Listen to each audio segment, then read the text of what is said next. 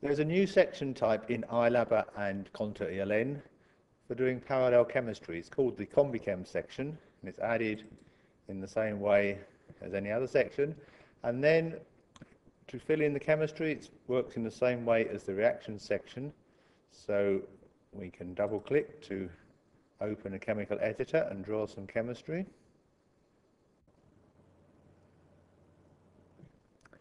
So you just draw the minimum chemistry required to describe the reaction. So here's an aryl halide.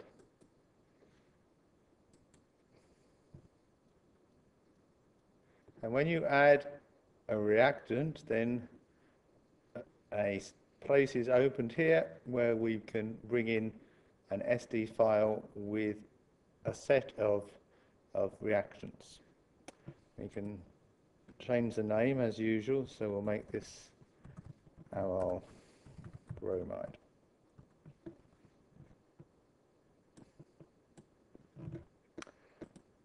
I'll just bring in a few more re reactants in the product which I've uh, drawn earlier.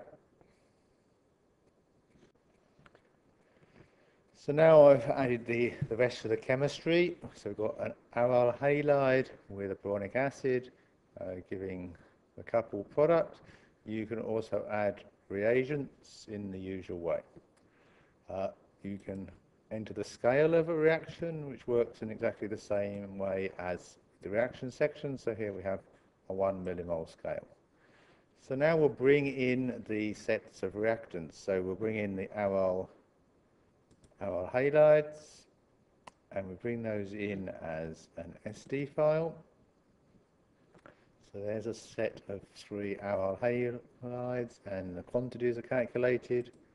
And then we bring in some boronic acids.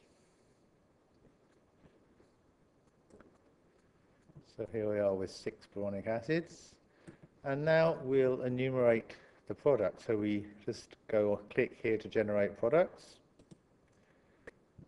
And then we have a choice of doing a combinatorial enumeration, which is a combination of each of the first set with each of the second set.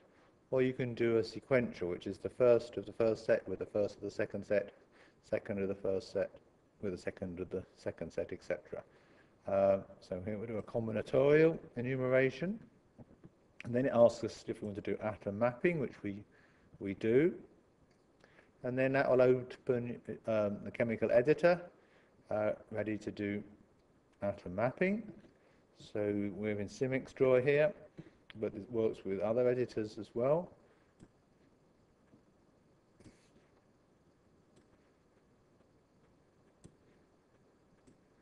So you do enough mapping to make the chemistry clear. Close the chemical editor. And then um, ILAB or Contur ELN will start to enumerate the products. And here are, is the table of products. We can type in the yields we obtain for each product and the percentage yield is calculated and uh, we can export all of the products as an SD file if required. You can also write um, a name or identifier for each product. So this could be CON001, CON002, etc. And of course, all of this chemistry goes into the database and is searchable. So this is really designed for small libraries up to about 50 compounds, mainly for medicinal chemists doing small parallel chemistry sets.